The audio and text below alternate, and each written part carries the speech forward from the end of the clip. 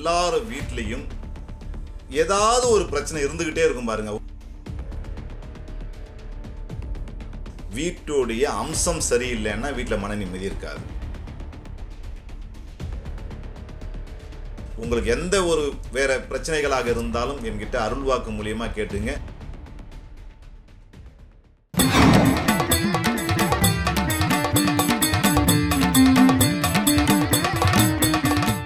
வாழ்க நலம்.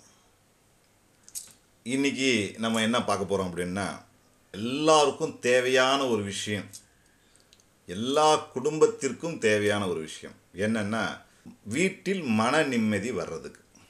என்ன வீட்டில் மன நிம்மதி அப்படின்ட்டு சில பேர் யோசிக்கலாம். ஆஹா யோசிக்கிறதுக்கே இதுக்கு வேலையே இருக்காது.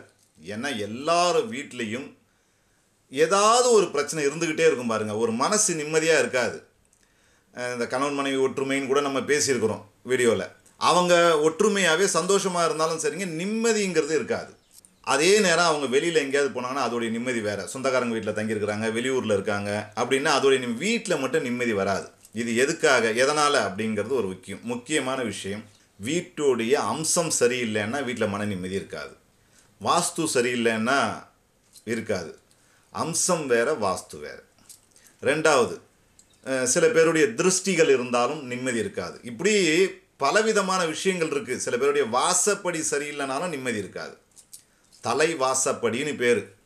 அது சரியில்லைனாலும் நிம்மதியை கெடுத்துரும் அது. நான் இதை பற்றி கூட சில வீடியோவில் சொல்லியிருக்கேன். அது மாதிரி என்னுடைய அருள்வாக்குலேயும் அருள்வாக்கு பிரசங்கத்துலேயும் சொல்லியிருக்கேன். வீட்டு வாசப்படியில் நம்ம காலை இடிச்சுக்குவோம். அது ஏன் அப்படிங்கிறது கூட நான் பண்ணியிருக்கேன். காரணம் அதுக்கு ஒரு உயிர் உண்டுங்கிறதுனால. அதனால் அது சரியில்லைனாலும் வீட்டில் மன நிம்மதி போயிடும். மன நிம்மதி வேணும். இப்போ என்ன பண்ணுறது சரி இதெல்லாம் இருக்குது இதெல்லாம் எது? கோளாறு அப்படின்னு எங்களுக்கு தெரியாது. குடும்பத்தில் இருக்கிறவங்களுக்கு வாசப்படி கோளாறா? வாஸ்து கோளாறா? எதில் திருஷ்டியா? மாடி வீட்டில் இருக்கிறவங்களுடைய நெகட்டிவ் வைப்ரேஷனா இல்லை கீழ் வீட்டில் இருக்கிறவங்களுடைய நெகட்டிவ் வைப்ரேஷனா இப்படி இருக்குது. எதோ எதோ அதெல்லாம் கண்டுபிடிக்க தெரியாது உங்களுக்கு. அதெல்லாம் இருக்கட்டும். மொத்தத்தில் மன நிம்மதி வர்றதுக்கு என்ன செய்யலாம்? ஏற்கனவே நிறைய பரிகாரங்கள் சொல்லியிருக்கேன் மன நிம்மதி வர்றதுக்கு. இது கூட நல்ல பரிகாரம். என்ன பண்ணிங்கன்னா உளுந்து. நம்ம சமைக்கிற உளுந்து இருக்குது பார்த்தீங்களா அந்த உளுந்துலேயே கருப்பு உளுந்துன்னு இருக்கும். கருப்பு உளுந்து வேறு ஒன்றும் இல்லை தோலோடு இருக்கும். தோலை எடுக்காத உளுந்து தான் கருப்பு உளுந்து. சைவ பூஜைக்கெல்லாம் அதுதான் மாமிசமாக பயன்படுத்தக்கூடியது.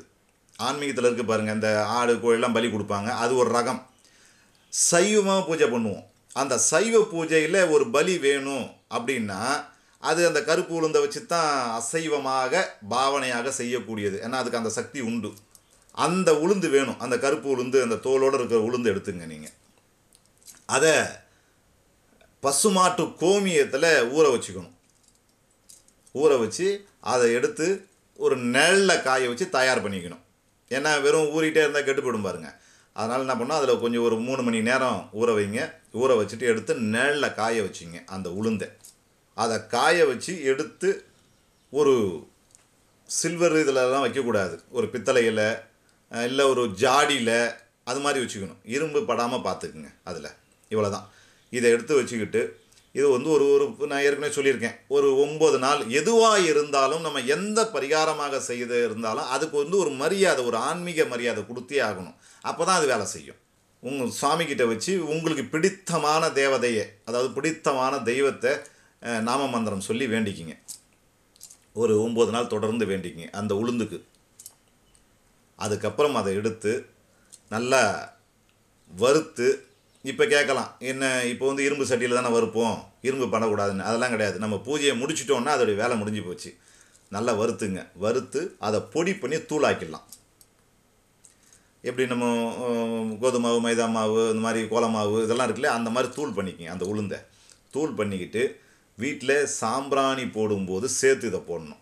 போட்டோம்னால் வீட்டில் இருக்கிற நெகட்டிவ் வைப்ரேஷன்லாம் போச்சுன்னா மன நிம்மதி தானாக வந்துடும் இது ஒரு நல்ல ஒரு எப்படி சொல்கிறது ஒரு கை கண்ட மருந்துன்னு சொல்லலாம். அடுத்தது இஞ்சி. நம்ம டீக்கெலாம் கூட இஞ்சி டீன்னு சொல்லி போடுவோம். இஞ்சி இருக்கும் பாருங்கள் அந்த இஞ்சியை என்ன பண்ணிக்கணும்? நல்லா தட்டி நசுக்கி நசுக்கினீங்கன்னா அது நார் நாராக அப்படியே பிரியும். நல்லா காய வைக்கணும் அதை. அது எவ்வளோ காயுதோ அவ்வளவும் நல்லது. நல்லா காய வச்சுட்டு அதோடு சேர்ந்து இந்த பாதரசம் அப்படின்னு கடையில் கேட்டால் கிடைக்கும். இந்த நாட்டு மருந்து கடையில் கிடைக்கும் பாருங்கள் அதுவும் இதையும் சேர்த்து ஒரு சின்ன சின்ன முடிச்சு மாதிரி சின்ன கொழுக்கட்டை முடிச்சு மாதிரி பாருங்கள் அதை ரெண்டுத்தையும் கொஞ்சம் அந்த இஞ்சியை காய வச்ச இஞ்சியோடைய கொஞ்சம் பீஸு ஒரு ரெண்டு துளி பாதரசம். திரும்பியும் இன்னொரு மூட்டை. அது மாதிரி ஒரு மூணுலேருந்து ஒம்பது மூட்டை சின்ன சின்ன சின்ன சின்ன முடிச்சு மாதிரி செஞ்சுக்கலாம். செய்து வீடு பூரா எங்கெங்கே வைக்க முடியுமோ ஸ்லாப்பு செல்ஃபு பின்னாடி வாசகால் கிச்சனில் எங்கெல்லாம் வைக்க முடியுமோ வைங்க.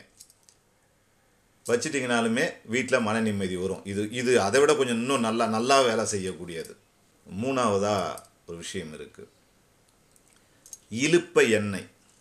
அதோடு சேர்ந்து உதாரணத்துக்கு ஒரு காலு கிலோ இழுப்பு எண்ணெய் அப்படின்னா தேன் வந்து ஒரு ஒம்பது சொட்டு தேன் விடுங்க.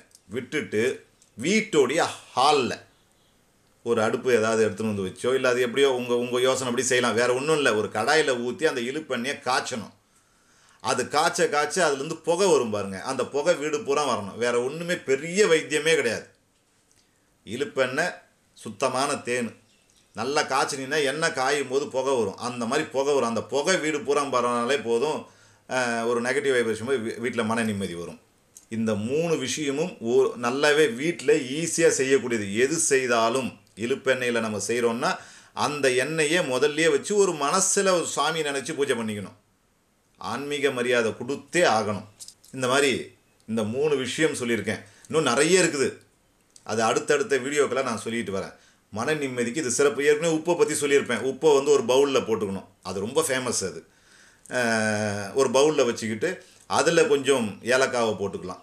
கொஞ்சம் வாசனை திரவியத்தை விட்டுக்கலாம். ஒரு எலுமிச்சம்பழத்தை வச்சினாலுமே ஹாலில் வச்சாலுமே போதும். வீட்டில் மன நிம்மதி வந்துடும் இது நான் இது இது ரொம்ப அதிகமாக மூவ் ஆன ஒரு வீடியோ நான் பேசின வீடியோவில் எத்தனையோ லட்சம் பேர் பார்த்துருக்காங்க அதை. அதை செஞ்சுருக்காங்க. அதில் நல்லா பலன் கண்டு பேசியிருக்காங்க. அதை விட இது இன்னும் கொஞ்சம் அதிகம். ஆனால் அது ரொம்ப ஈஸியானது கமர்ஷியல் நிறைய பேர் கூட பேசியிருப்பாங்க அதை பற்றி ஆனால் இப்போ நான் சொன்ன அந்த பரிகாரங்களை பற்றி யாரும் சொல்லியிருக்க மாட்டாங்க. அந்த உளுந்து இன்னும் சிறப்பானது. அதை செய்து வீட்டில் மன நிம்மதியை வர வச்சுக்கிங்க. உங்களுக்கு எந்த ஒரு வேறு பிரச்சனைகளாக இருந்தாலும் என்கிட்ட அருள்வாக்கு மூலியமாக கேட்டுங்க. இன்னும் உங்களுக்கு உங்கள் வாழ்வு வளம் பெறதுக்காக நான் நிறைய உங்களுக்காக செய்து தரேன். வாழ்க நலம்.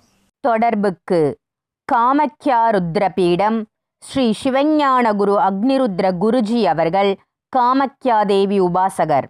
ஸ்ரீ காமக்யா தேவி ஆலயம் வலதுகால் சாய்பாபா அபய குருஸ்தல வளாகம் அம்மன் நகர் காயார் மெயின் ரோட் கொளத்தூர் கிராமம் சென்னை ஆறு பூஜ்ஜியம் பூஜ்ஜியம் ஒன்று இரண்டு ஏழு. சென்னை வண்டலூர் கேளம்பாக்கம் மெயின் ரோட் மாம்பாக்கம் அருகில். செல் ஒன்பது ஒன்பது நான்கு பூஜ்ஜியம் நான்கு ஐந்து மூன்று ஐந்து ஒன்பது பூஜ்ஜியம். ஏழு மூன்று மூன்று ஒன்பது ஐந்து எட்டு ஒன்று ஆறு ஆறு ஆறு.